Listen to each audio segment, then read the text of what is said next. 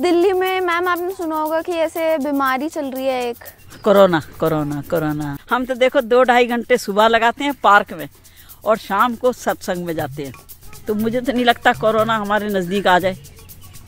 क्योंकि आप सत्संग जाते हो। सत्संग में जाते हैं। आ, प्यारी समझ गई।